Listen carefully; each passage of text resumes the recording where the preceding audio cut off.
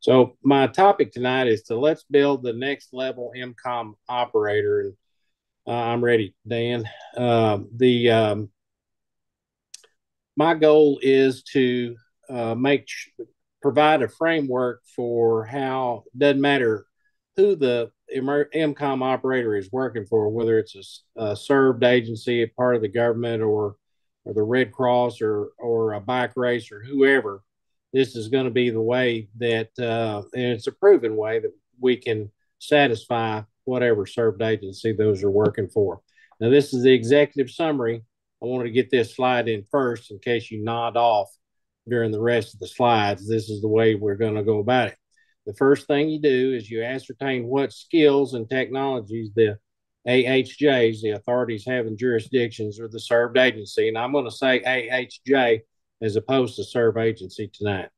We're going to learn, uh, find out what skills the AHJs want or need uh, so that they consider the ham radio operators to be trusted volunteers in missions.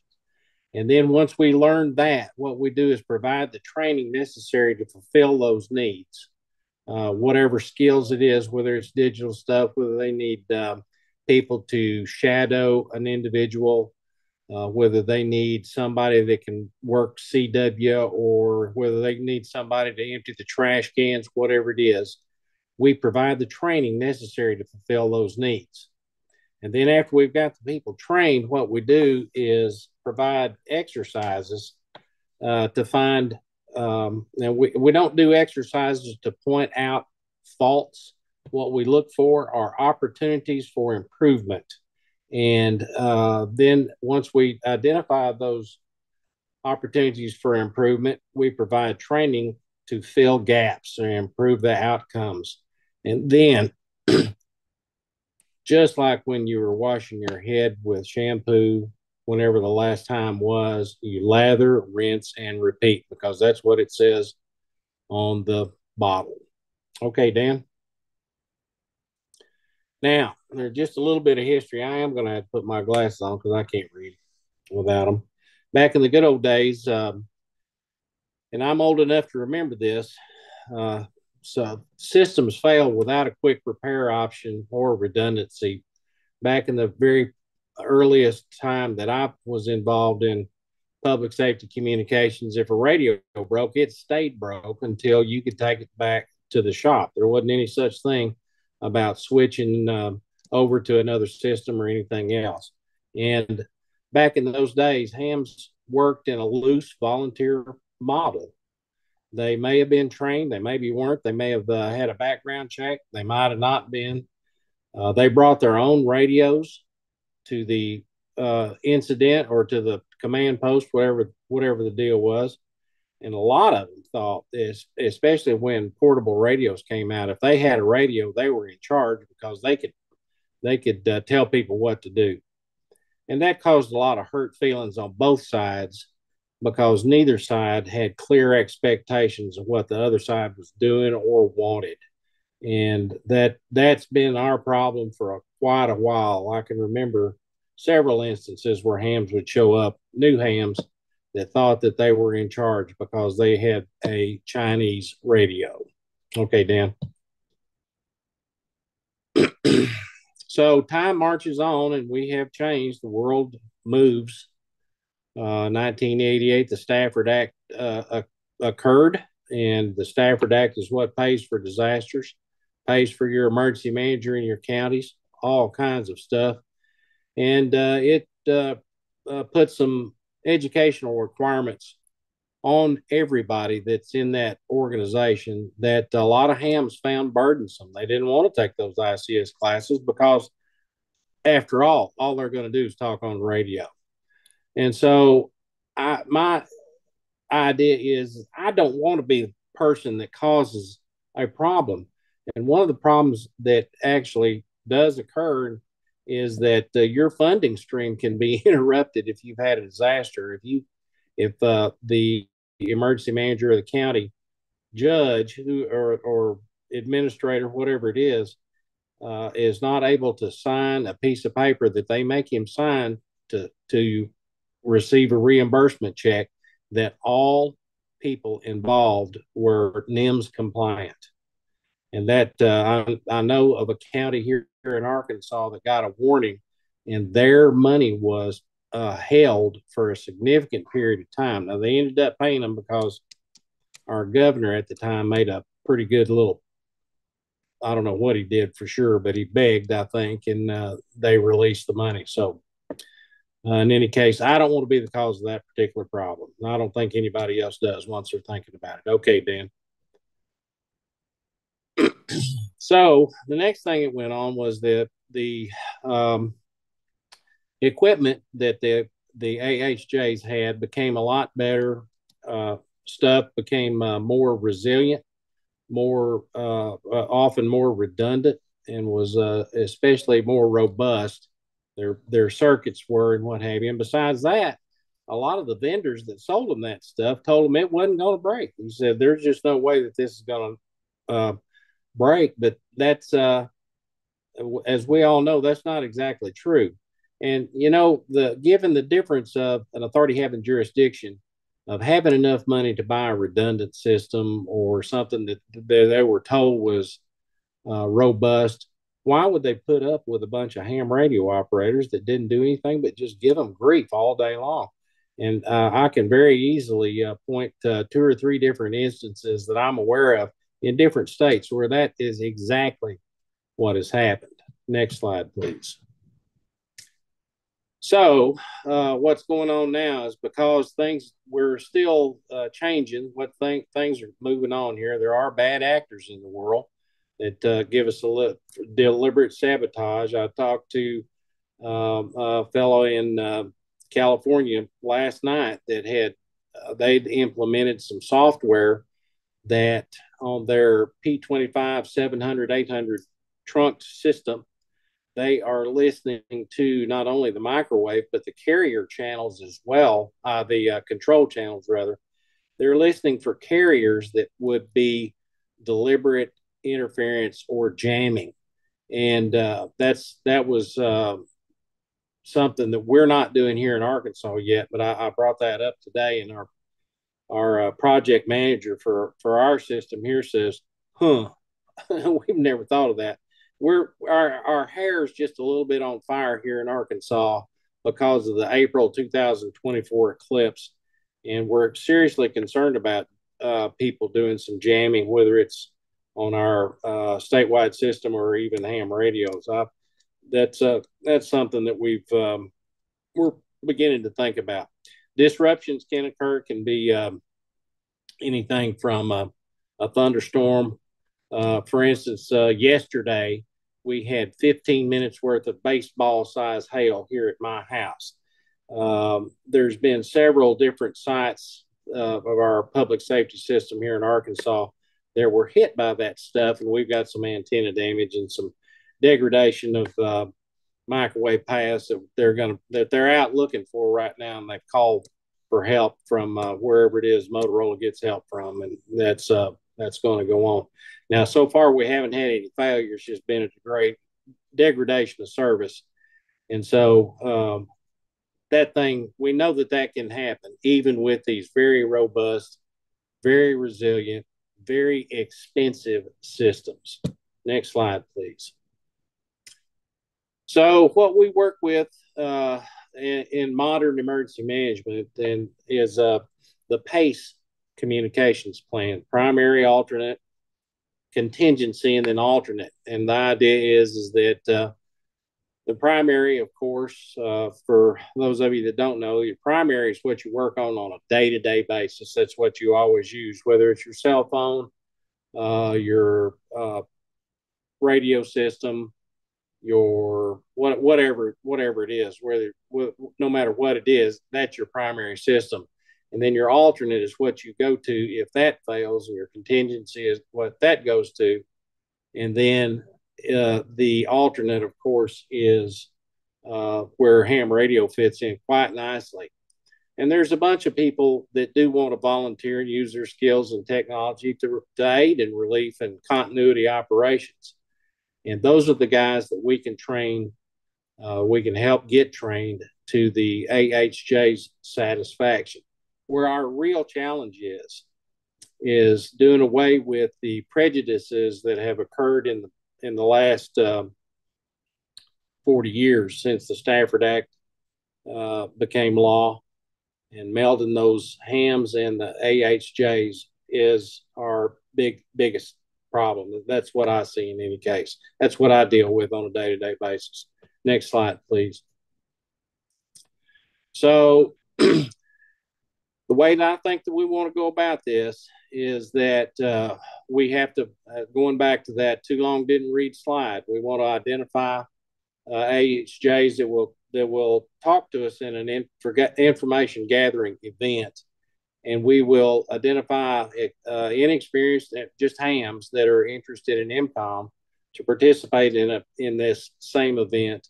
We uh, develop questions for both groups, and we get answers from both groups, and then we make a lesson plan. But what we learn from the AHJs is what it is that they want um, the hams to be able to do. We learn from the hams what it is they can already do and are proficient in.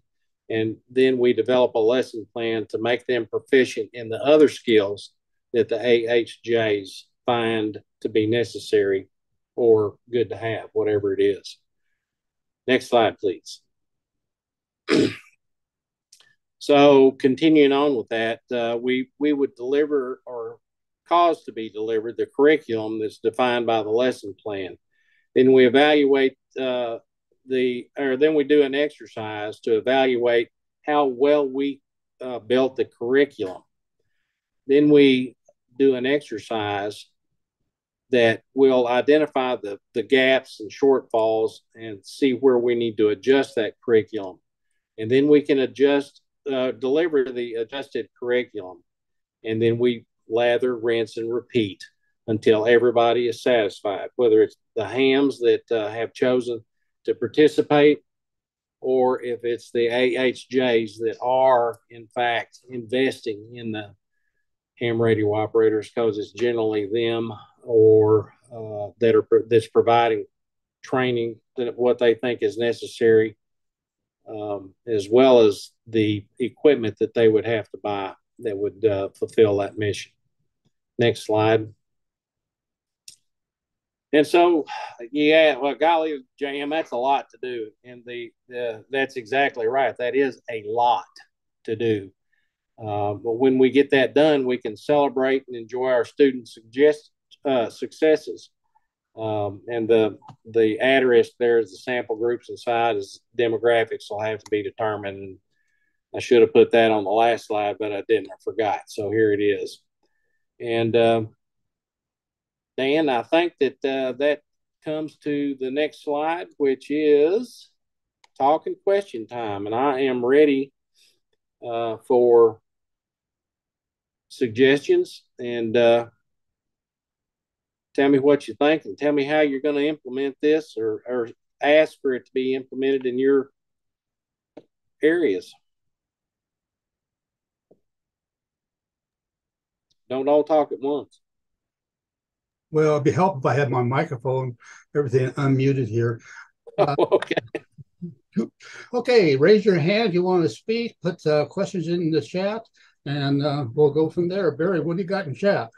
One comment from Tom. He says a way to endear yourself to the host AHJ is to fill out the personnel accountability and make sure that it makes it to the timekeeper or accounting people.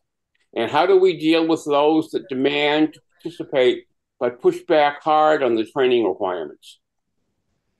So the people that don't want to do the training requirements, I've got uh, the answer to that is we'll find them something else to do. It's um, what we're doing with those guys uh, uh, here in Arkansas, for instance. We've got a bunch of folks that are uh, very interested in helping, but they don't have a ham radio license. They're doing the GMRS and uh, I value their their help to no end.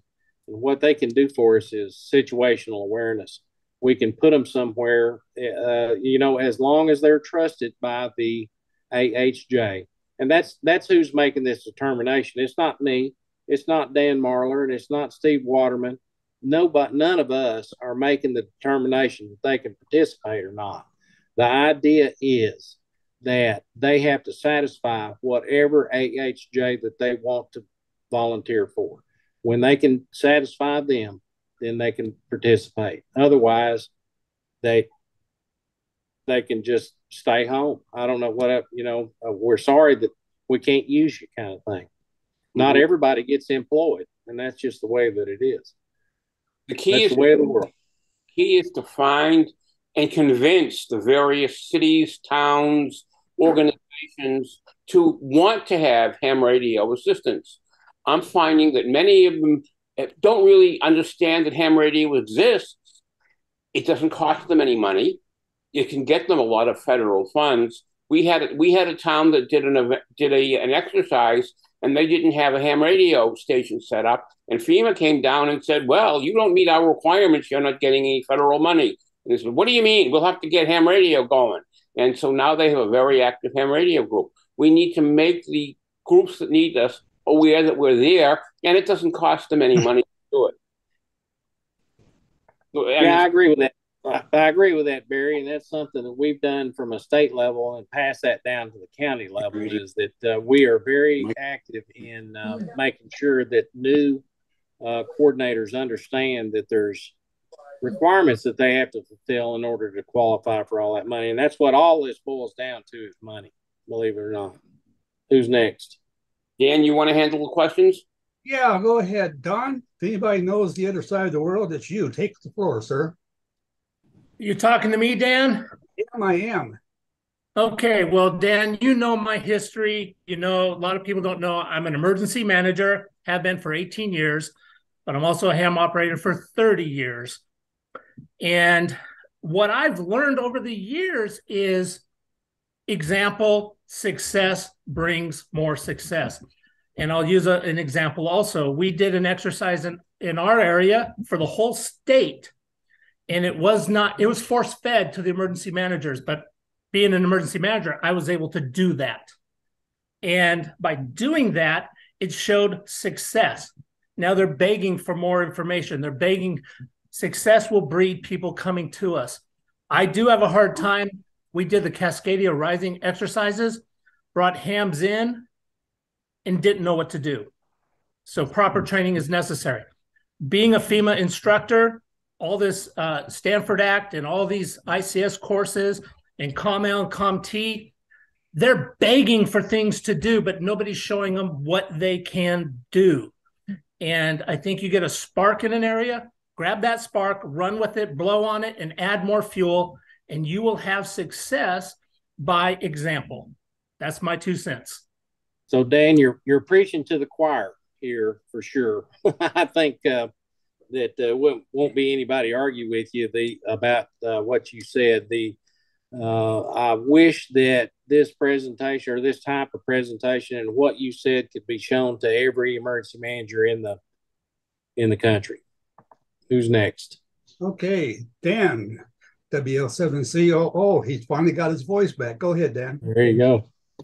Uh, JM. So I, uh, I'm referring back to the, I think it was five bars of uh, the the schema you were going to use to bring the amateur radio service and emergency management agencies agencies onto the same frame of reference.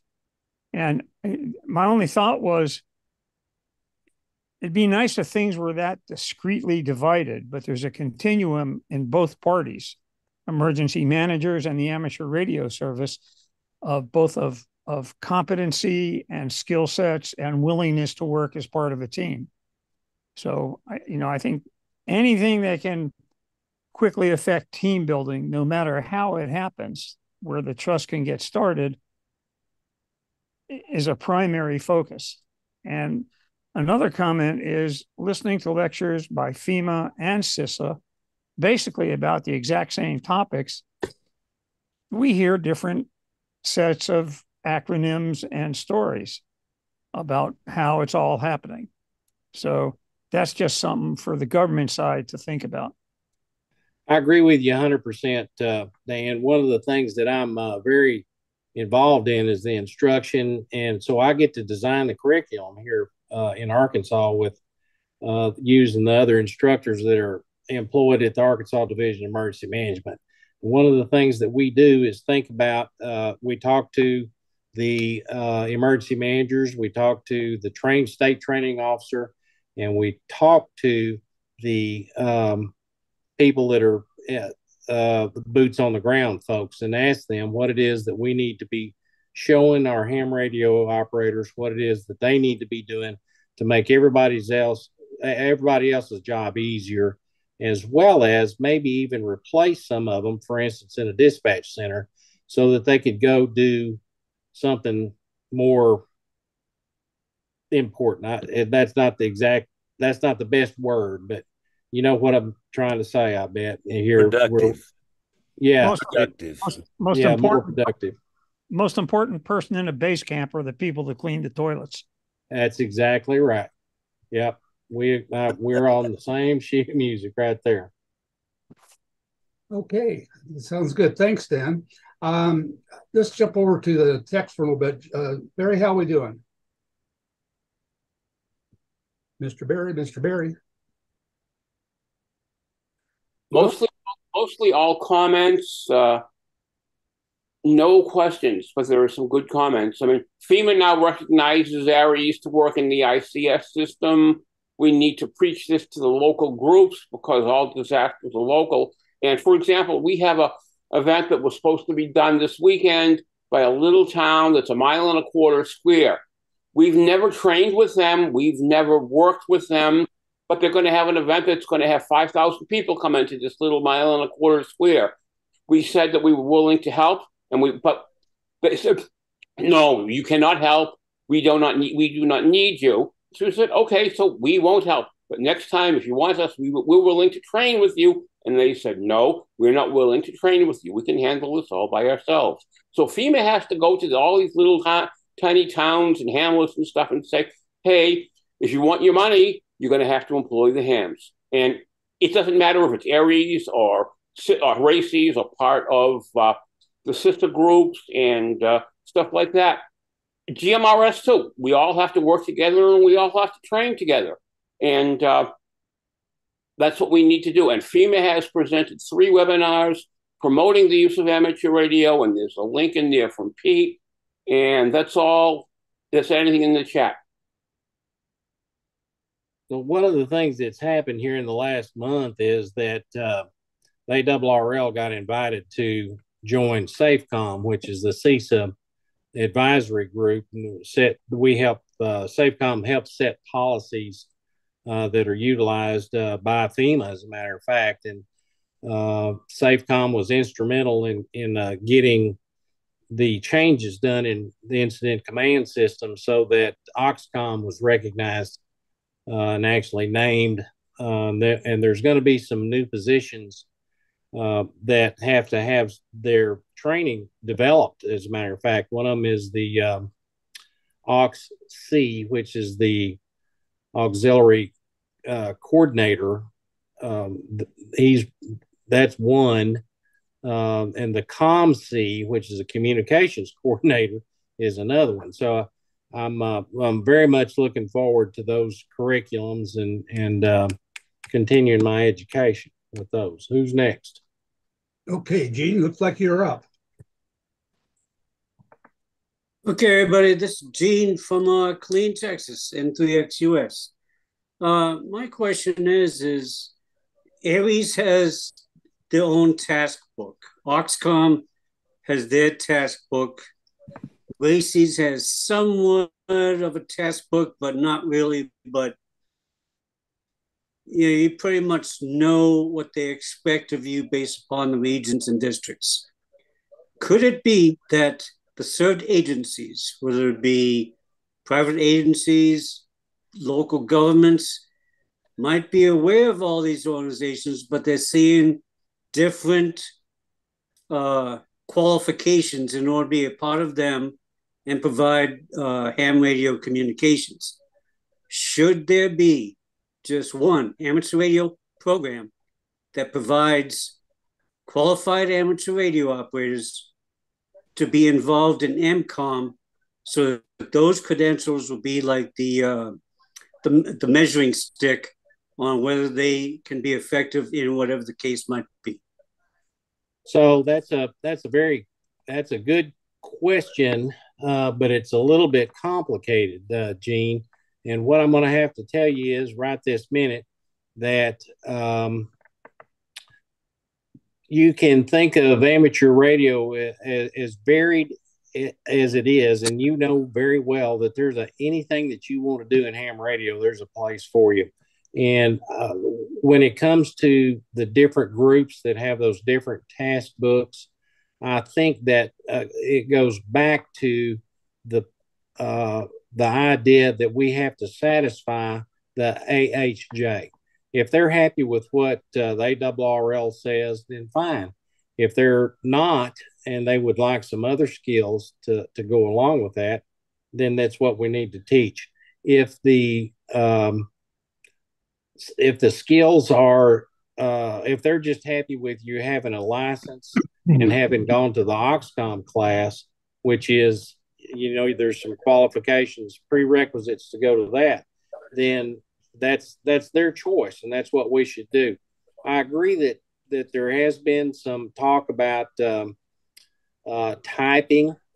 In other words, uh, a tiered system, a type one fire truck is different than a type three, and uh, that's that's just something that is is um, going going on and on uh, down the road. That's so far down the road right now that I'm not willing to think about it too much. Uh, if they if they said, okay, JM, we're ready to start developing that stuff, we want you to work on it, I'd surely jump in with both feet. But as it is, I think that we have to build enough trust at a local level we've got trust at a, at a national level now. I can tell you that.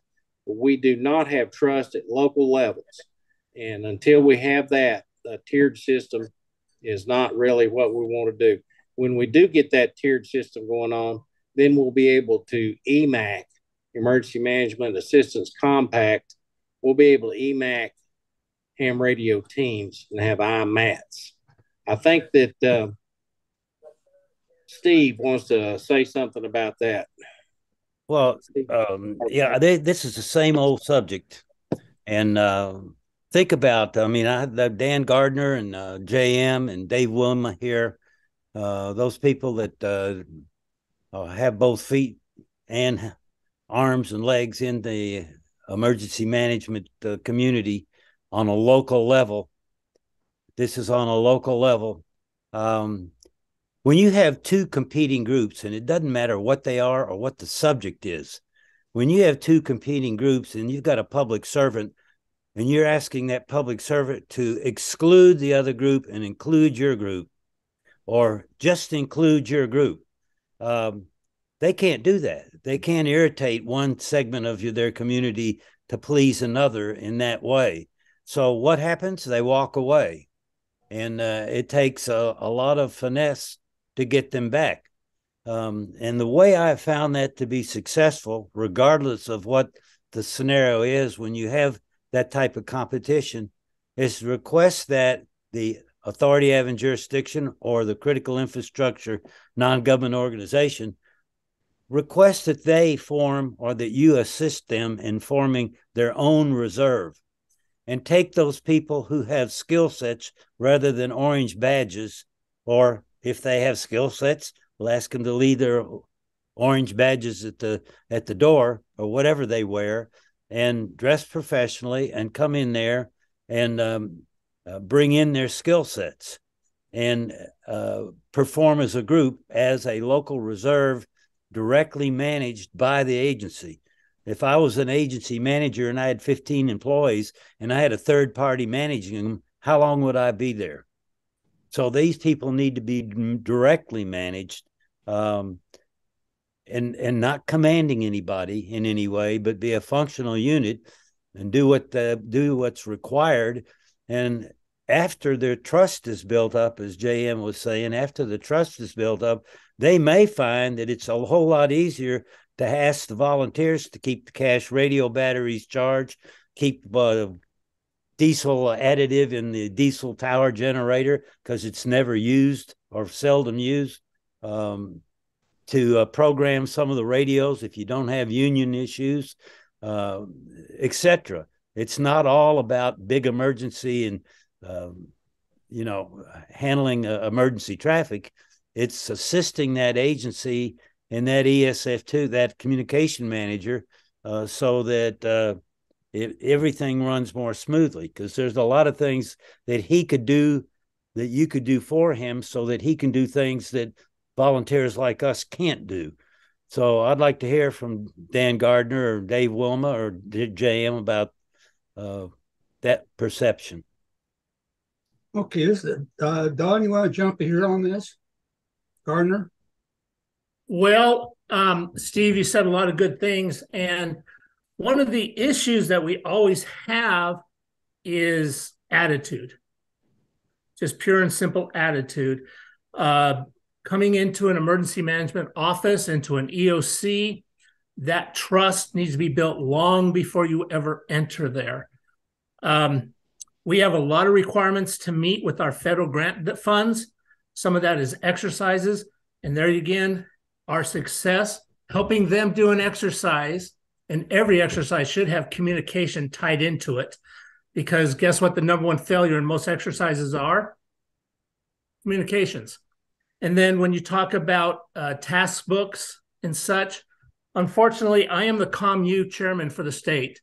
And we have a lot of people that's taken AUXCOMM, that have taken ComL, ComT, and they don't finish their task book. Uh, you've got to take initiative, contact the ComU. And if you're in my state, contact me.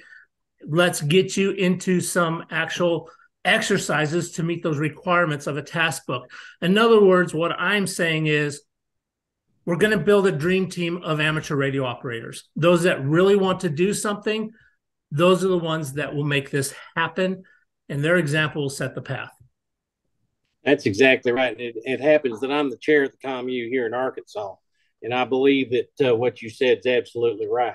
I'd like to address a uh, in the chat, Jim N6 MED uh, at uh, you may not have been here at the at the front, uh, uh, Jim, but what I said was that the AHJs and any other agency, I was just going to say AHJ instead of NGO and AHJ, just shortening it all up. This applies to every situation, doesn't matter what it is. The operators have to satisfy the requirements of that particular group that they're working for, that agency. Who's next? Okay. Um, by the way, thanks. I appreciate you jumping in there. Uh, Stan, go ahead and take it there, sir. Oh, good evening, everybody. Stan, K9STN from Wisconsin ARES East Central Region. And uh, something here I'd like to bring up is start with small things with your county if you're starting up a group and make sure you continue to do those small things for your county or your city. Uh, we started out, we had a new emergency manager and we helped out with the testing of the sirens. When the sirens their sirens are shut off during the winter here due to freezing conditions. So the first few times they're fired up we go out and observe them make sure they spin if they are a turning siren make sure they sound fully and we reported the bad sirens. And the new emergency manager was very impressed. And then we stepped up. We of course we're doing storm spotting before that. We volunteered for damage assessment we started picking up on that and now throughout the state more and more counties are getting in a survey one two three damage assessment which has been uh, very welcome. So that's helping expand our ARES group here in general. So, like I say, start with the small things. Uh, we talk, keep talking about the big one, but if you're willing to do the little things, they'll they'll appreciate that and move into the bigger things as you go on. Thank you. Thank you, Stan. JM. I agree with you. I don't know. I don't have any conflict with that. you got two people with their hands up that I can see. Okay, let's uh, let's uh, Barry, how we doing in the text world there? We're good. Okay, Tom, you wanted to take it away?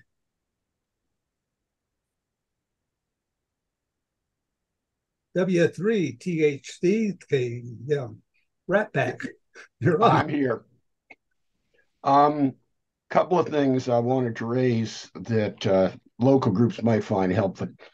Um, and somebody may be able to give me a, a cure for one of them. But the Joint Committee on Hospital Accreditation, which is just called the Joint Committee anymore, I don't you know, I don't track why they changed their name. Uh, they require that hospitals have backup means of communications.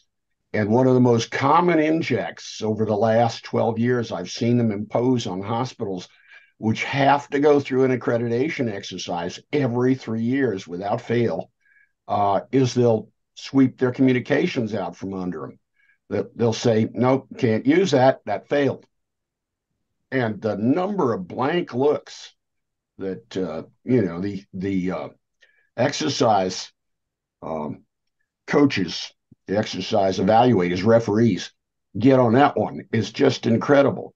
One of the things we've done is go to hospitals in advance and say, you know, we don't need much to help you out with that. And for us to be right there and satisfy them on that requirement. We just need to be able to place an antenna in advance and a coax in advance, and that's it. We're home free. Oh, and by the way, you know, the the commercial company that sold that hugely expensive system to this hospital got over on them. All you need to fulfill this requirement is this. Don't let any of the other companies try and sell you that. We'll bring our own, uh, and then you don't have to pay mountain of money to a professional radio shop to install whatever has the best profit margin for them. They were very grateful. Now, the counterpoint I've got a club president who's working hard to go around me directly to the emergency manager to try and get the requirements trashed for the county auxiliary communications service. She doesn't like the fact that the board of the auxiliary communications service that I serve on uh, said, um, we're going to go with what they've told us. And we're not going to let you corrupt what they told us. If you're not willing to train, we can't use you. Somebody already said it was that simple, but it doesn't turn out to be that simple when somebody's influential in the ro- local radio community and accuses you of being dictatorial and and all that nifty stuff. And as I'm sure JM, a lot of people, you know, that sort of quarreling is very destructive. But I have no way of knowing how to bring this particular person to heal, if you'll forgive the phrase, um, and and get her to knock it off. Um, she's just determined that we're being extremist and they don't need this and you could find a way to use them if you wanted to. And said look these are the requirements. We didn't make them. We're not in a pay level where they get made or approved. We cannot change them she won't accept that and she's on the warpath and i'm sure you know, steve can tell you in, in deep levels how destructive that sort of thing is when you're emergency managers being exposed to that sort of yuck. So if anybody has some great ideas, I'd love to hear them. So what we did in Arkansas, I can speak to that. Uh, we waited for the son of a bitch to die,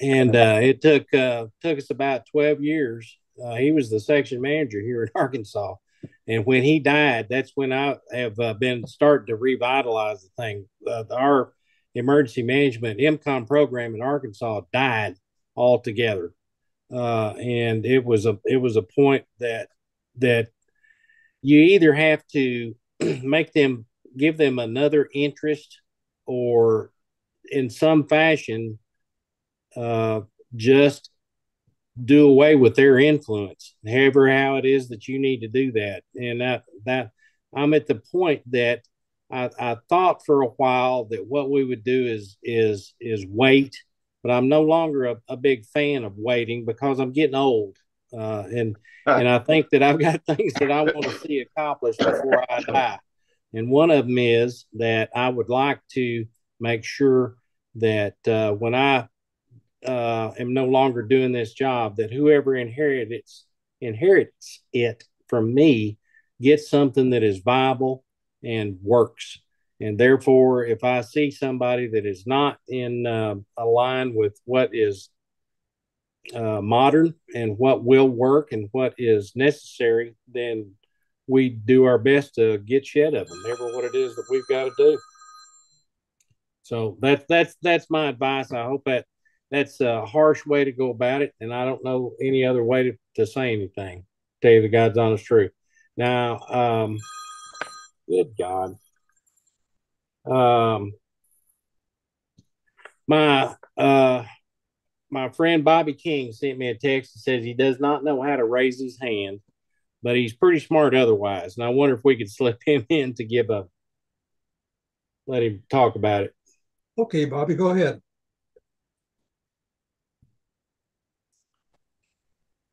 Okay, I think I got myself unmuted.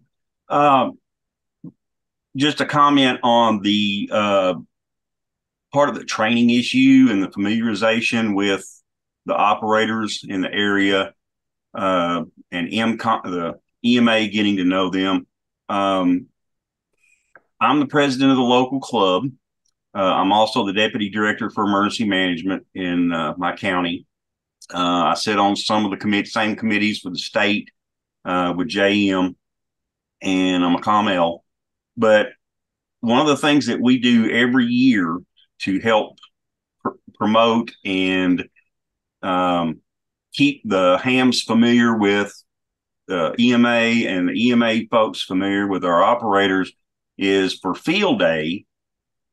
We utilize the county's uh, EMCOMM mobile command trailer. It's a 40 foot self contained 12.5 kW generator on it. We pull it out to the front parking lot, and part of our setup uh, in that trailer is amateur radio is in the is in the front end in the comms room, and there's one also in the back end in the uh, command post area. Um, but we bring in also our own equipment. But the amateur radio operators with our club that and surrounding area that come to help us for field day, I pull the trailer out, and it's their job to set it up. They they help put up the uh, inflatable uh, 40 foot uh, mast that has our uh, dipoles hanging off of it. Uh, they help run all the coaxes. They help get the generator going, get everything set up in that, and then we operate out of that trailer. So they are familiar um, on a regular basis with something. One of the tools that they may uh, get to or have to utilize um, to do emergency communications. We also have a walkthrough in the EOC and show them the equipment and the capabilities that's in the EOC. Uh, but this is a this is a yearly thing. This is our field day, and um, it just keeps them familiar. And we talk regularly at the club meetings. Uh, we have guest speakers come in. Uh, we have uh, you know just some of our our regular um, agenda talks about EMCOMM, talks about getting the classes, talks about um, you know, if you're going, if you want to do this and you're serious about it, get, uh, you know, go through the classes and get them. And uh, we keep a pretty good regular um, uh, membership. And so they're all familiar with us. We're familiar with them. And I have really no one that's on our club roster that I can't call at a moment's notice to come and help set up or operate if we need it to, need it to be. And um, our county officials trust them just like they trust me. So, uh, you know, again, that's just one of the tools we use locally to keep them involved with EMCOMM and us familiar with them. Well, well thank you. Appreciate those comments. Uh, JM? Well, Bobby's um, Bobby's one of my longest lasting friends. Uh, we went to EMT school together uh, back in uh, 1979. Is that? I think that's right. And uh, so I've known Bobby a long time, and uh, he's the president of the club that I'm the secretary of. So I think that he is uh, exactly correct. We've both of us have been involved in emergency management since 1981, I think. So we, it's a long time. I might uh, I might throw a comment in here real quick on my side. I here move my hand up. Okay, Dan, take it. Okay, hi there. Um, where I'm sitting in my chair, uh, it's a value system. Here in Idaho, we don't have a lot of big disasters. We have forest fires, we have uh, some kinds of river will flood, uh, spring runoffs, and this kind of stuff. Pretty well local stuff. And uh, uh a these, uh, we have the problem both with the hams as well as with the emergency managers, and it's a value thing. Emergency managers, they don't have, you know, we're not worried about this because it's not that big of a deal. We'll handle it with what we got. The amateurs, uh, they're not being, you know, they're they're it's just a, a value type of a thing. And one of the things I would like to see is more um, uh, from top to down um, organization. In other words, from the region level, have some region level uh, disaster training, and I, I know they do. But get these uh, states that don't have the disasters that others do. Our neighbors do. Oregon and Washington, they both have pretty good sized disasters. Train with them. Uh, widen out the scale, make it a more meaningful thing, and make sure that the at the, the county, uh, uh, at the county level, at the hospital levels, they're part of that. That's just my two cents worth. And let's go pick on David. David, go ahead. Hey, thanks, Dan. How's my signal? You sound great. All right, thanks. This is Dave Wilma, Seattle Office of Emergency Management, uh, KG7LEA. And I, uh, I have a question, and I'll set it up first. Is that I talk to a lot of hams who have actually uh, been through real activations things like Hurricane Ian and uh, uh, wildfires, uh, urban uh, uh, fires. And one complaint that comes up all the time is uh, they will have a, a stable of, of, volunteers. They may have even been trained. They're carrying, you know, credentials from from their emergency manager. And when the balloon goes up, it's crickets. They have a terrible time finding people to show up. And the whole show up factor is a serious problem, and it has occurred in many, uh, in all of the uh, uh, uh situations that I've looked into, looking for lessons to, to share here. So the question I have is what planning is done and what preparations are done to try to leverage the existing stable of trained volunteers with um, uh, perhaps unlicensed, license, you know, uncertified licensees, uh, people who are not licensed. Uh, one idea I had is for uh, hams to come up with like a sidekick, someone that can do their logging for them, that can drive the car, that can take care of the radio while they're down the hall, uh, things like that. And I'm curious as to what sort of planning is being done in that regard. Thank you. Cheers. Well, one of the I, would like to speak to that a, little bit. We we're doing our very best to um, to tell people that if you're volunteering and, and we're counting on you, then we really would like for you to show up. And and so one of the things that I do at the state level with uh, the guys that uh, man my stations are that we uh, have a, a roster and we schedule them that may something may happen, something may not. But uh, for instance, if something goes up and we need a quick response to the state level uh, uh, EOC, right now, it's his name is uh, Josh Carroll. He's on call, and so next week it'll be uh, Joel Eccles. Uh, the week after that, it's um, Mike Net- Mike Nettles is in charge. He's the overall guy, but he's the guy that will do that. And so that's that's our thing is that we actually schedule these things. Uh, and I, I bet that you're familiar with the Forest Service having red team and blue team uh, IMTs, and those guys uh, were on call for that time period, and uh, then they were not on call for the next time period unless something terrible happened. There was a second incident, and so that's the that's the model that I'm using is is that. Okay. Who's next? Anybody else? got a comment about that if it's not out of line. JM. Yes, sir. So I got a comment about that if it's not out of line on a local level. How many of these uh, agencies have required or requested that teams of people be pre-assigned and build relationships where population is congested uh, during an emergency, like shelters uh, you know, a church has a shelter, a school system is a shelter, a corporation is a shelter, a convention center is a shelter, and build relationships, have, have a not just one individual, but a team of people in case somebody can't make it.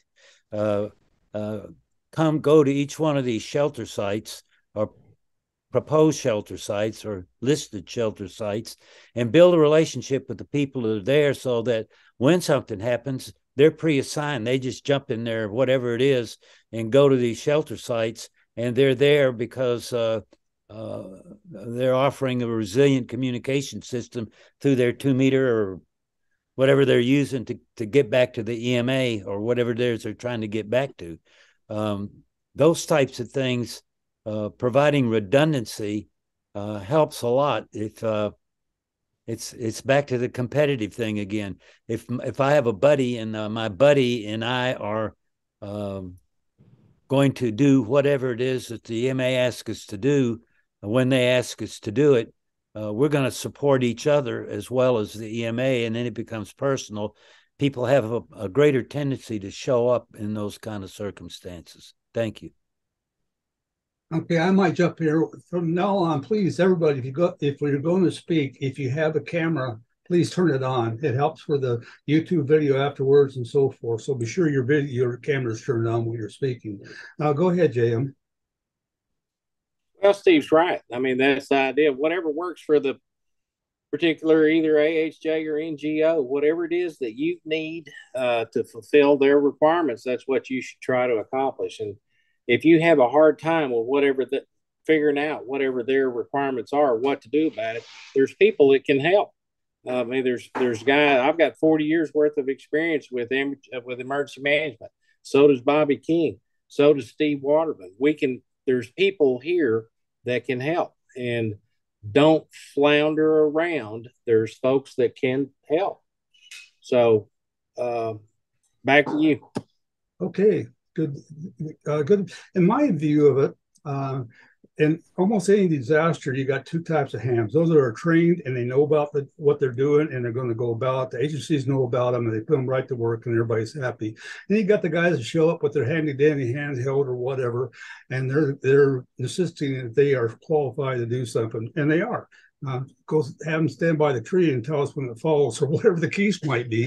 Uh, there's a place for everybody, but if you want to be meaningful volunteer, part of the organization that's doing something uh, getting involved with those agencies and uh, training with them is the best way to go. Uh, that's my another one of my two cents is going. I got a stack of pennies here. Okay, Doug, uh, Doug, go ahead. I make a comment. Oh, go ahead. Again, we all have a focus on this, which is good, but we have to understand. For example, if a Category Five hurricane comes up the Gulf and devastates Arkansas, you might have had ten people that you had on your team probably eight of them are going to be unavailable to go to an assignment because they're going to be worried about their property or their lives or survival. When we had Matthew, it was going to come up into Palm Beach County, and the governor got on the media and said, If you do not evacuate, you will die. All of my hams disappeared because they were evacuating and they got stuck on I 10 and in the traffic jam. So we have to deal with that. We have to be able to get in people from out of your area to uh, help us. And that's part of where having the standardized curriculum and standardized training and everything comes into effect. We need to plan for that. And we're not. A lot of emergency management agencies, too. You know, we have, you know, 30 people that go into the EOC. If they're lucky, maybe 10 would be able to report to the EOC in a disaster because the roads will be damaged, trees, the power will be out. They won't be able to get through roadblocks or stuff like that. We need to build that kind of thing into our exercises and into our plans. Back to you, JM. Well, I agree. I, I have no argument. Um, I might throw something out here real quick, and then I'll take a couple more callers. RATPAC is serious about doing something for uh, emergency communications. Uh, JM has stepped up and and gave a, a, agenda what he wanted to do. It just leaped over the place. Exactly what we need to do. We've got Steve out there. We've got a bunch of people that are very serious about uh, uh, disaster communications on our RATPAC uh, planning board. What we want to hear from is you guys.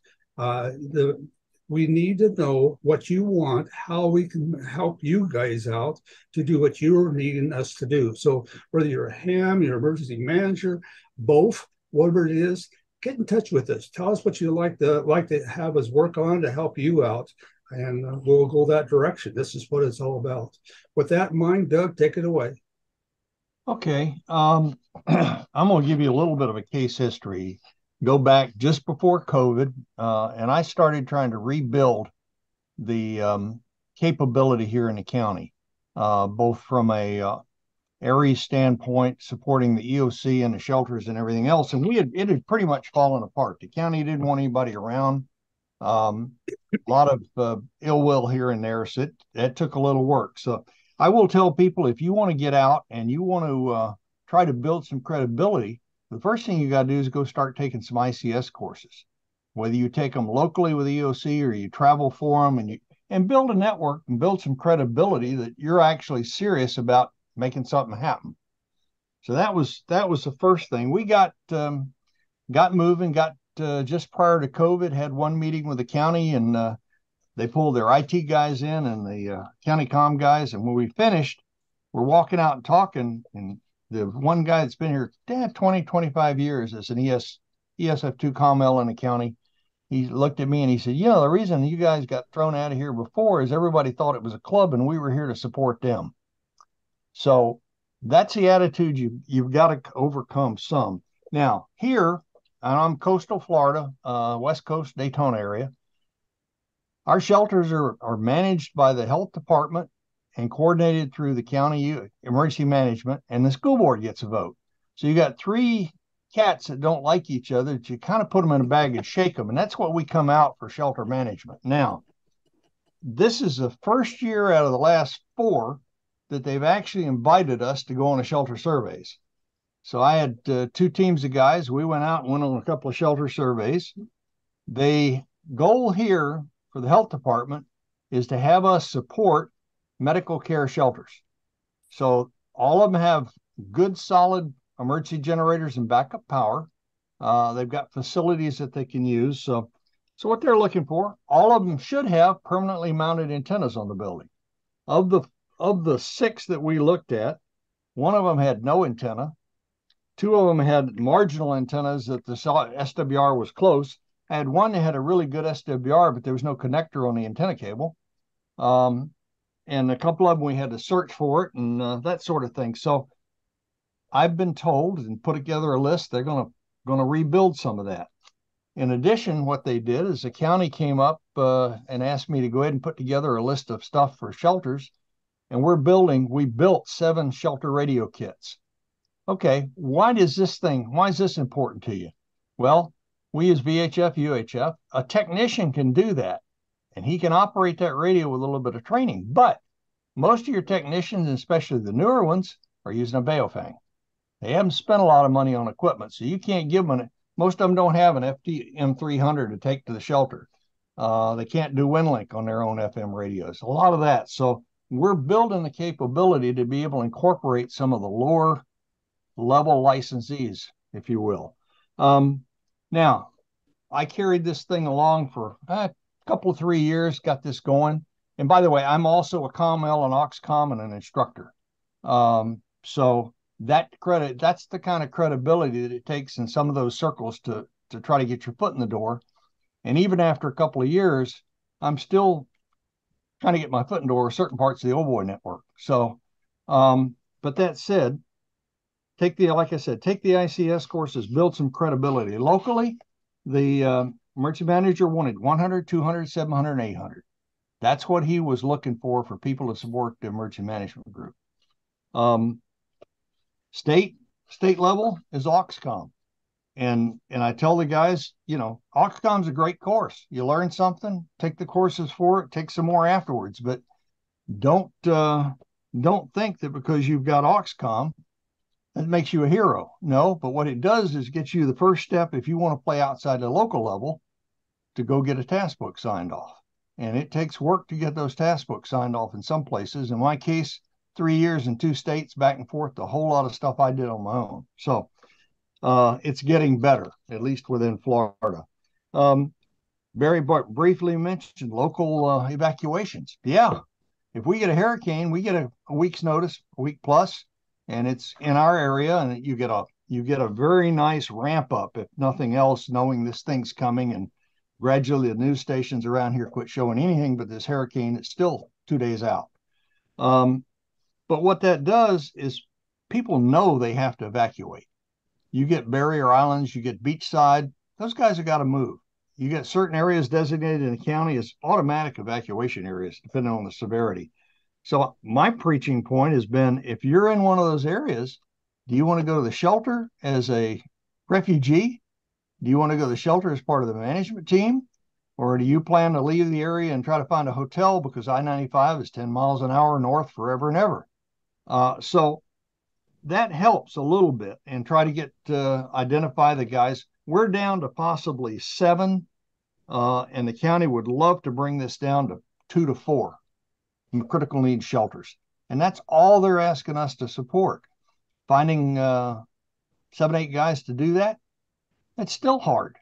And uh, my wife has her very own ideas of where I'm going to be should we get hit with a hurricane. So um, it's just uh, that's the way it is. And we deal with it and we do the best we can. You can't go back too far in the state looking for help because the guys to the north of us that we do a lot of exercises with are in the same boat we are. We've got a couple of inland counties that we're, you know, we cooperate with, but nobody has a mutual aid capability for amateur radios that anybody's willing to support. You know, your background checks don't transfer county to county. Uh, some guys have got badges, some of us don't. Uh, it's all a it's a crapshoot at the local level. Now, ARES and uh, ARRL and everybody else wants to shake hands and play nice at the uh, SAFECOM and CISA level.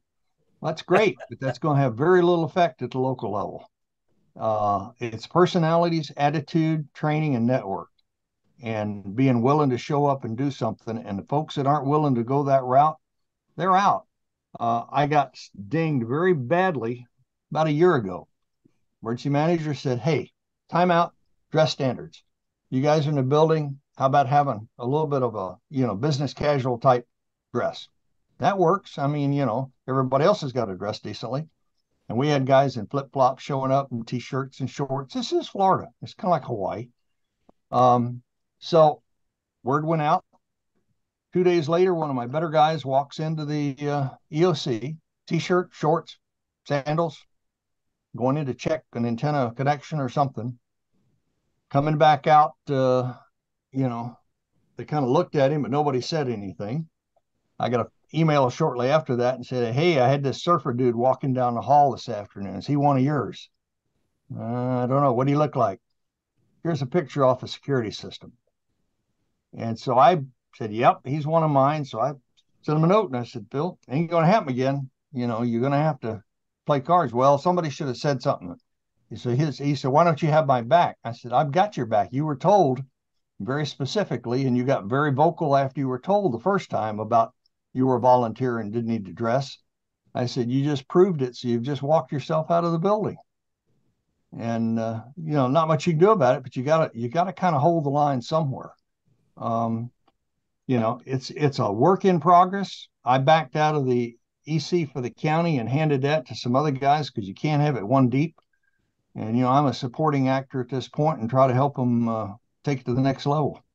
So that's my two cents. It's a, um, a work in progress. You know, it's attitude. And we still get guys. I walked into a meeting the other day and it wasn't mine, but big double A, A double RL vest, all the badges, patches, and everything else. And, uh, you know, okay, aren't you in an AUXCOMM group? But I didn't, I didn't say anything. But, uh, you know, if you're walking in somewhere, take a look in the mirror before you go. What kind of image are you going to present? And and ask your folks what kind of image they present when they show up.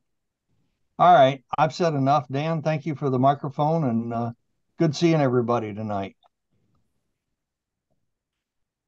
Uh, again, there's another guy here pre- preaching to the choir, Dan. Uh, that's exactly right. He's correct. Uh, one of the things that uh, uh, I would like to talk about uh, that he was talking about the SAFECOM level and, and, and playing nice. I, I see that as a um, um, more of a telling the ARRL members that the ARRL is trying to be serious about EMCOMM at this point, and hopefully that will translate down to the local level. I'm, I, you know, I don't know. I can't affect um, your county there in in Montana. I can't affect the county in Florida to be more professional and and to be trained and all that stuff. But if we start at the, I do have the ability to affect what happens at SAFECOM, and that's where that training begins, and and that's. Uh, that's the best we can do. That's the best I know how to do. If there's somebody that's got a better idea, I sure would like to hear it. So I'm on your side, Doug. Uh, Doug, I'd like to throw in here real quick. I'd like to make you an offer here tonight. Would you like to come on and give a presentation? You have experience. You're right there with some good ideas. Uh, I'd like to give you an opportunity to present here on RATPAC uh, to get some of that out. Would you be interested in doing something like that, Doug? First thing I should do then is mute my video and let go away, right? Dan, let's talk about offline. I've got to find a time frame that'll work for you and give me a chance to do something that's actually worth saying and not uh, just rambling. All right, that's fair. And I'd like to extend that out to other people that have meaningful content that comes from education, from an educated, uh, uh, you know, educated experience is what the, what we need and what we can do to improve ourselves. So get a hold of me, K7REX at ARRL.net will work. And um, we'll uh, get you in there working in the schedule. We need to get you kind of folks out there. We need to, we're going to make a dent in this thing and make it what we intend to make it. We need everybody involved we can. So with all that, my pennies are starting to run out here. Tom, go ahead. Thank you, sir. The uh, I forgot some things uh, before that I wanted to uh, um, as a television thing that happened to us accidentally that I wanted to share was that uh, we were filming a local event with the old NTSC cameras, amateur radio cameras. Uh, and it was for the simplest thing you can imagine. We were just uh, allowing the people at the bandstand to see the units coming down the street. That's all. They asked for it, we provided it. But then a uh, CSX train decided to have a wheel on one of their cars. Yeah, one of those cars with a shield at each end and the red diamond on each side and on the ends, and the wheel left the tracks. Now, it wasn't what I would call a derailment, but the fact is that the EC went bananas.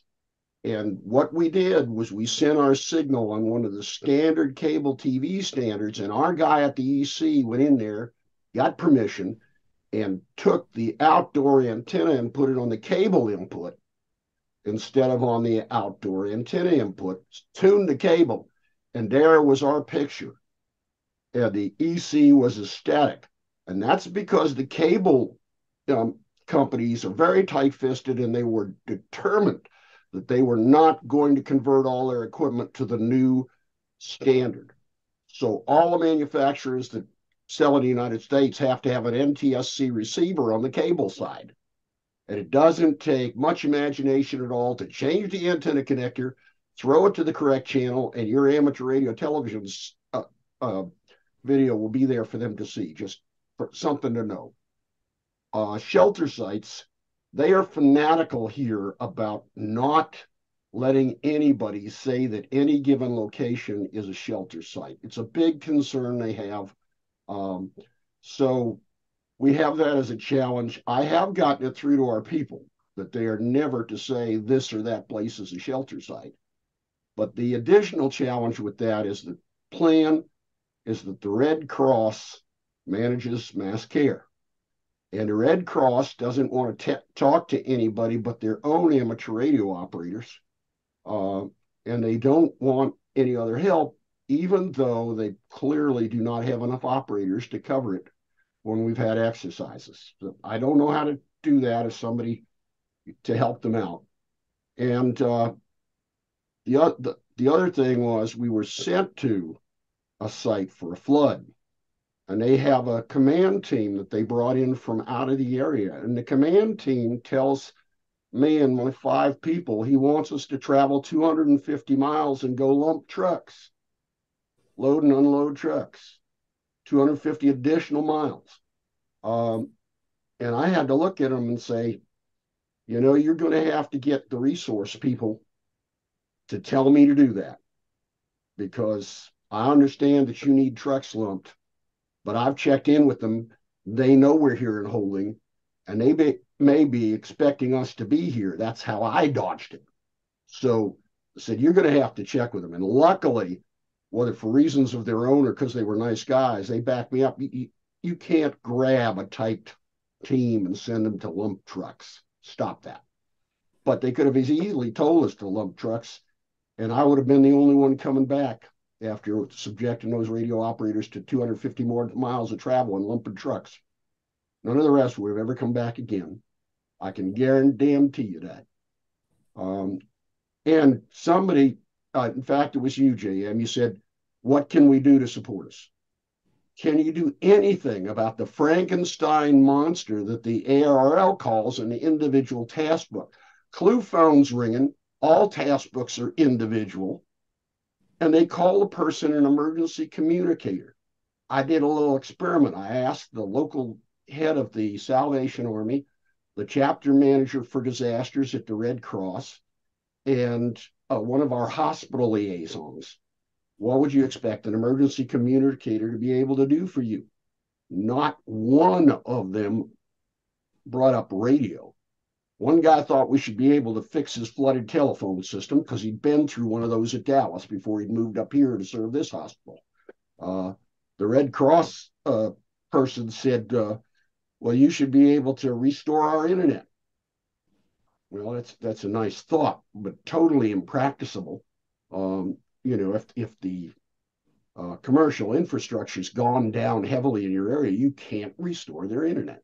So, what I'm saying is that the way they've got that book structured, it may be a fine ego stroke for a bunch of people, but it's not useful. They call it uh, individual task book, training plan, and, and something else they threw in. They've got two job guides included in it one for dispatch and, and uh, return, and one for something else. That's why I'm calling it a Frankenstein monster. It's a monster made of the parts of several different bodies. Um, if you can talk to anybody at the uh, Newington, uh, you know, in the emergency management office and get them first to sit down and take FEMA's course on how you write a position task book, which isn't a very demanding course, but it would tell you that that book's wrong. And you know, if I if I had put that book in front of our emergency manager, they'd laugh me out of their office.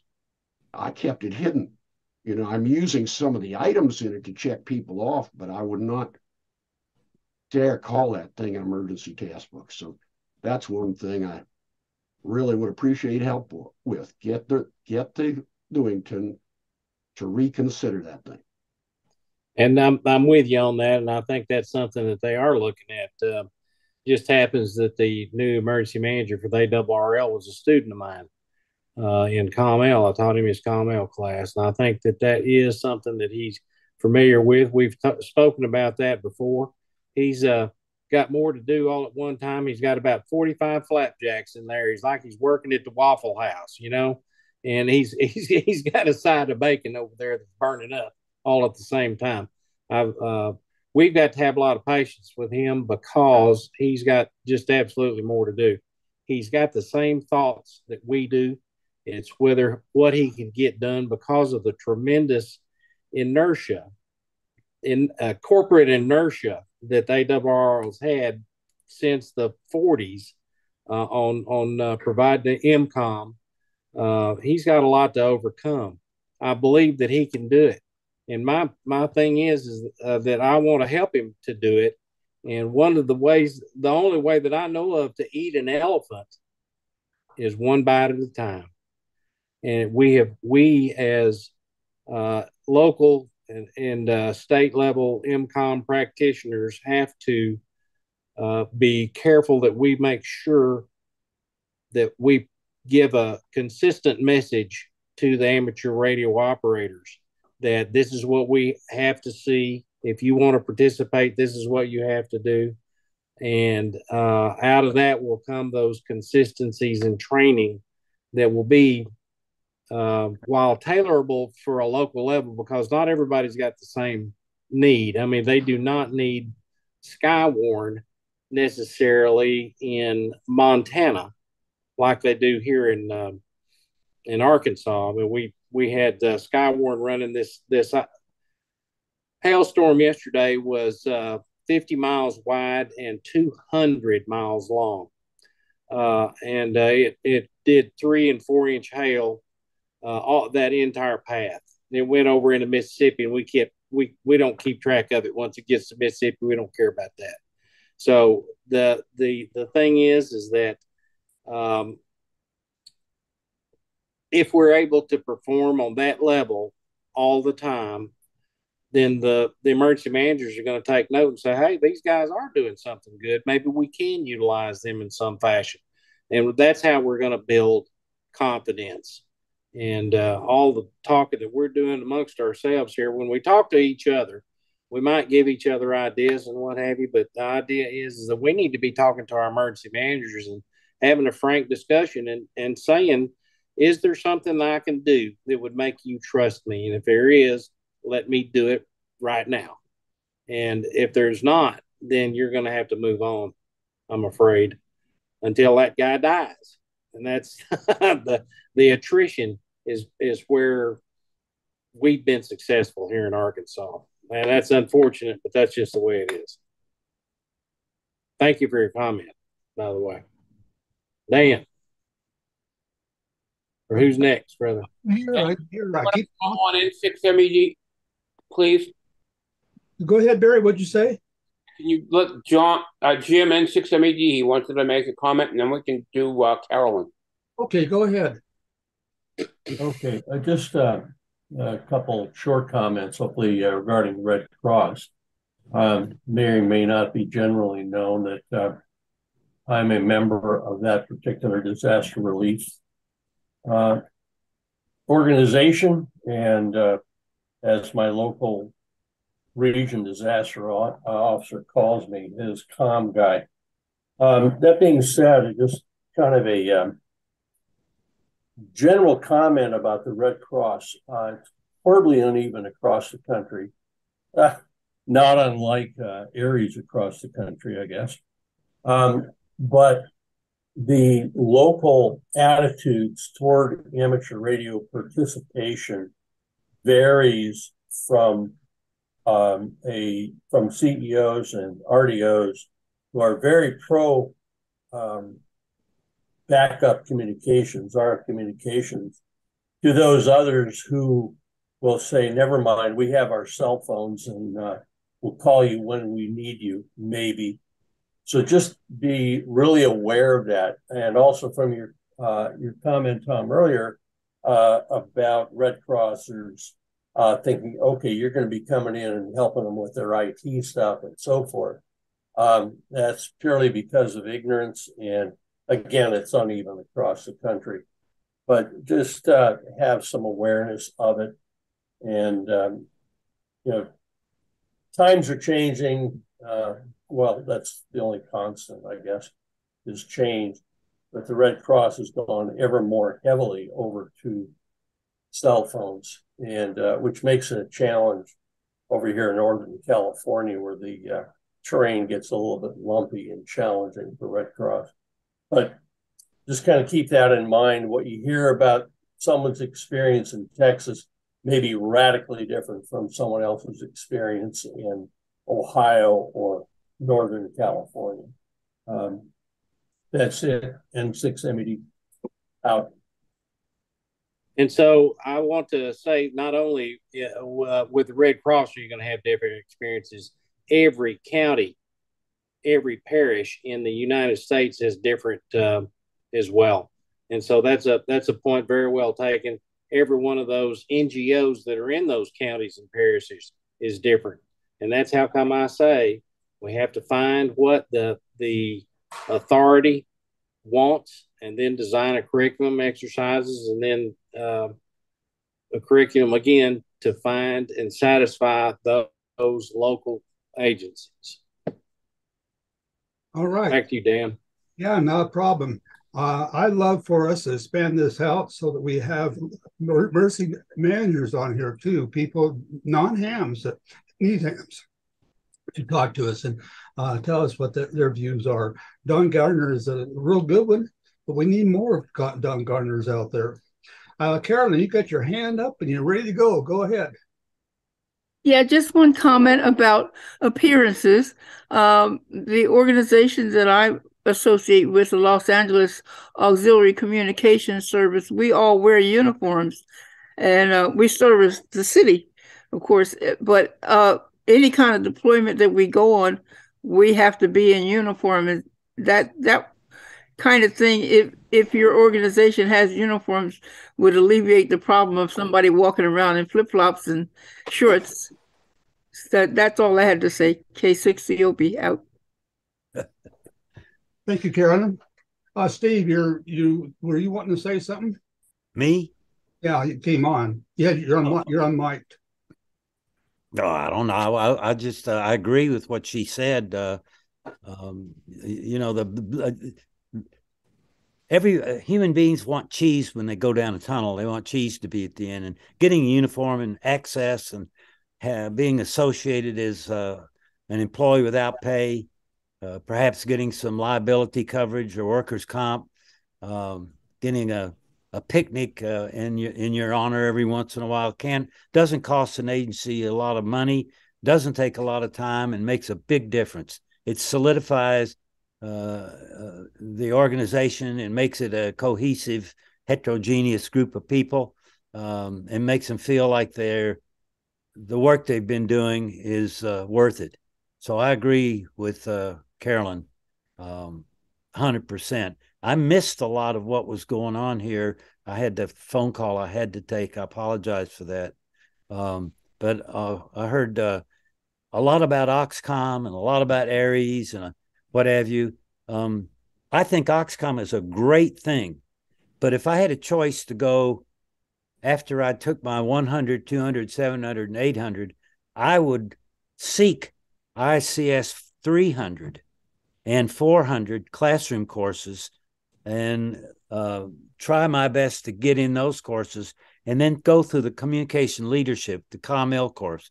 AUXCOMM are not going, it, that class is not going to be filled full of people that you may be working with in the agency, in your nearby agency, uh, like the COML class would be.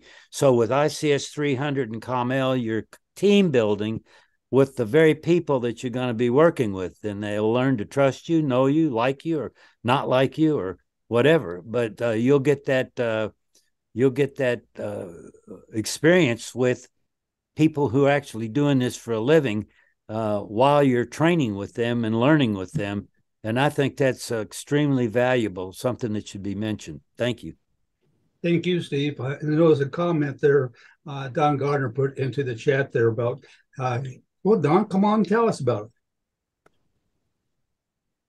Don? Yeah, uh, one thing is just recognition, and one thing I did do, uh, I like to write articles, and I wrote a very full page article and explained ham radio to the community, rented in the newspaper. It cost me very little, and the comeback was enormous of appreciation and wanting to work together. So some simple steps can really, really pay off. That's a great idea. Yes, it is. Well, we've gone over time. It's been worth it. It's been great. We're going to be doing more of this stuff. I'm going to again. I'm going to invite people. You got something to offer? Tell us about it. We'll get to get. We'll put a plan around it. Dan, I'm going to let you be the last one here. Go ahead, Dan.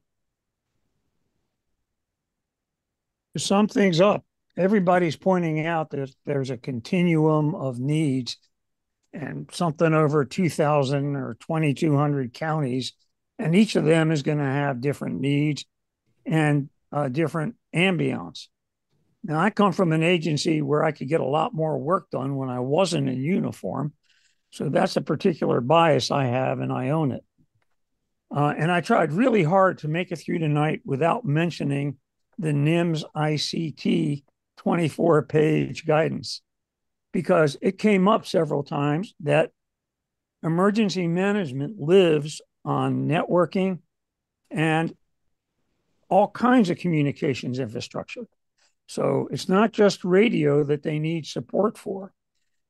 and uh, eventually, I think all the training and and I haven't had AUXCOMM in eight years now. But even back then, it was well, it was pretty much totally radio focused. Um, but now a little bit of uh, know how, uh, how to uh, piece together networks where, you know, the outage isn't ubiquitous or statewide or, you know, sec- region wide. Uh, that's going to become more and more valuable. And that's what the 24 page, and I honestly forgot, it's a SAFECOM document. And I think it was well, it's from NIMS. It's from the, uh, I think it's out of EMI. And I'm not sure if CISA or FEMA is behind it. But it's going to be in a new branch in the ICS. And that is the one thing all emergency responses have in common in this country. And a little more emphasis on getting the 300 and or 400 beyond the 1, 2, 7, 800, four core is going to have huge payback. Uh, so, however you can do it, you know, I salute everyone who has. And JR, you should require that everybody read that 24 page ICT, NIMS ICT branch. Yeah, I, I was on the committee that uh, was responsible for getting FEMA to change their mind about adding this, uh, the AUXCOMM uh, group. By the way, it, only took us 13 years and so this has been a labor of love of mine for a very, very long time. I believe that you are correct that uh, everybody ought to read that uh, guidance, especially the changes from uh, the, what was it, 2013, whatever it was, I forget. Uh, the to see what the changes are because I think that's real progress, especially naming us specifically. That means that the emergency managers recognize that we're viable and so we can just go from there. And, and it might be that where there is internet, what they really want to see is photos of how bad the flooding is or videos. Exactly. Yeah. And we shouldn't eschew being able to do that. We, we should make that, you know, just part and parcel of our toolkit. Right. Whatever situational awareness is a big deal. And for the emer- for any emergency manager, and I think if we provide that, that may be the very that may be the stepping stone the threshold for us to come in. So there you go. Okay, we're running into an hour and a half here, but I don't want to leave anybody out. Pete, you have your hand up. Yeah, I've uh, so far done the AUXCOMM and and a COMT, um, and I may submit my thing for a RADO class that they're still looking for people for in a at the end of the month. They're like, oh, I just went to a little show and tell presentation they did for you know non non radio people, and they're like, oh, by the way, we have open seats, sign up. So I may do that, but that's uh, a good point about you know, um, I I you know, people the head of the New York State uh, you know, um, Office of Interoperable and Emergency Compute Communications says hi Pete when I you know when I uh, when I see him. So that's good. But the one thing that uh, I think the, the AUXCOMM is great, um, and and and uh, and all, but AUXCOMM and it's and it was emphasized in the course. You may or may not be using a radio. So I think um, you know some some they're expecting you to be uh, almost like a technical specialist and not not a radio operator. And um, I've I've kind of you know suggested to my uh, my guys, and they're all like, "Well, we don't have time for that, and we don't have, we can't take you know three days off during the week, and uh, uh, so on and so forth." So I think that AUXCOMM is a nice thing, but I don't think that is a ticket for the majority of of hams. I don't, I don't think it's going to be. Okay, want to comment on that, JM, and then uh, we'll check out the text and get on out of here. So my my reply, uh, Pete, is that uh, you're right. It's not a one size fits all thing, and those that some people will uh, want uh, their operators to, to do it, and other ones don't care. And it uh, what we want to keep our eye on here is satisfying the requirements of either the uh, the AHJ or the NGO or whatever agency you're trying to serve. Whatever they want, if you want to play, you've got to use their rules. That's just all there is to to it. So there you go. Back to you, Dan. Okay, Barry, what we got in chat? You're up to date in chat. Okay, with that in mind, uh, this has been a great meeting. There'll be more. Bobby Bobby King's got his hand up. He never has figured out how to do that. Right Okay, Bobby King, go ahead. I'm sorry, I'm, I'm claiming ignorance. Uh, I just want to comment real quick on some of the comments that were made a while ago in chat and uh, post and also online. Um, the comments about uh, you know feed them, clothe them, give them badges, whatever, uh, you know, like that. You know, uh, insurance stuff like that. We've run into that in Arkansas. That's been one of the things that has been a hold up is people won't didn't they don't want to participate unless they're going to get something out of it from either the served agency or the state or someone else. Um, part of that has been preached that you got to get credentialed, you got to have the classes, you got to go through the training, and and all, and then that works you into being a trusted person by your AHJ or the state level, whoever. Uh, and at that point, then in Arkansas, if you are a credentialed person and your and your local government trusts you, at that point, the EM can put you on as an auxiliary communicator, a ham operator, a, a bulldoze operator, whatever, and all, and they can put you on as as a volunteer, just like the volunteer fireman and they can put you on the state's workman's comp or on the county's workman's comp if you meet all that criteria. And so uh, that that's kind of the trade-off. If you want to have all those luxuries and be afforded uh, those items, then you have to meet their standards.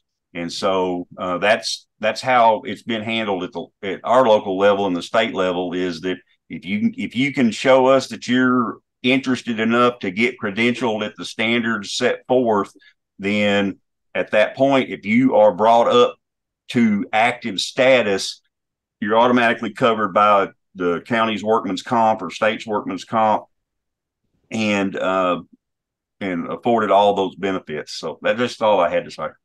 Well, thank you. Those are good comments there. Anybody else got anything to throw in there before we pull the plug? Hearing nothing, I guarantee you folks, we're going to have more of this. And if you have something to offer, like I offered to Doug earlier, I hope he'll come through with that. Um, I, we like to hear from you. We'd like to get that participation and take and take a look at uh, your experience, your knowledge, and get this all going.